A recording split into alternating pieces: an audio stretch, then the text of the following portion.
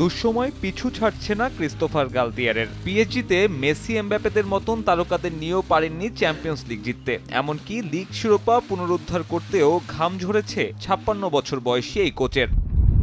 প্রত্যাশিতভাবেই তাই কোচ ছাঁটাইয়ের সিদ্ধান্ত নিয়েছে ফরাসি ক্লাবটি। চুক্তিতে এখনও এক বছর বাকি থাকলেও নতুন কোচের খোঁজে নাসের আল খেলাইফি আনুষ্ঠানিকভাবে চাকরিচ্যুত হবার আগেই গ্রেপ্তার হলেন গ্যালতিয়ার শুক্রবার সকালে পিএসজি বস ও তার ছেলেকে জিজ্ঞাসাবাদের জন্য থানায় ডাকা হয়। ফরাসি গণমাধ্যমগুলোর বরাতে জানা গেছে, চব্বিশ ঘণ্টার মধ্যে তাদের বিরুদ্ধে ওঠা অভিযোগের সত্যতা পাওয়া গেলে গ্রেপ্তার করা হবে গ্যালতিয়ারকে।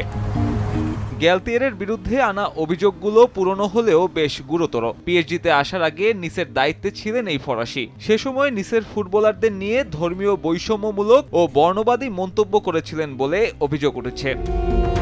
গত এপ্রিলে একটি ইমেইল ফাঁসের মাধ্যমে মূলত এই অভিযোগ ওঠে। ইমেইলটি ছিল নিস ফুটবল ডিরেক্টর জুলিয়ান ফোর্নিয়ারের, যেখানে তিনি দাবি করেন, ক্লাবের কৃষ্ণাঙ্গ ফুটবলারদের আধিক্য এবং মুসলিম ফুটবলারদের ইসলামিক অনুশাসন মেনে চলাটা পছন্দ করেন না গ্যালতিয়ের। এমনকি দলের সর্বোচ্চ কয়জন কৃষ্ণাঙ্গ ফুটবলার থাকতে পারবেন, সে সংখ্যাও নির্দিষ্ট করে দিতে চেয়েছিলেন এই কোচ।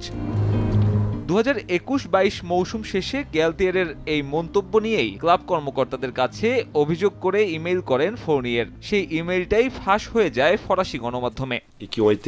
তবে গত জুলাইয়ে এক সংবাদ সম্মেলনে এ সকল অভিযোগকে অসত্য বলে দাবি করেছিলেন গ্যালতিয়ার এমনকি তার পরিবারের বিরুদ্ধে এমন মিথ্যে অভিযোগ আনায় মানহানির মামলা করার কথাও জানিয়েছিলেন এই ফুটবল কোচ। তবে প্রাথমিকভাবে তার বিরুদ্ধে আনা অভিযোগের সত্যতা পাওয়ায় গ্যালতিয়ের ও তার ছেলেকে জিজ্ঞাসাবাদের জন্য ডেকেছে পুলিশ। অভিযোগ প্রমাণিত হলে বড় শাস্তির মুখে পড়তে পারেন এই French football manager. Sabbir Mithun, Somoy Sangbad.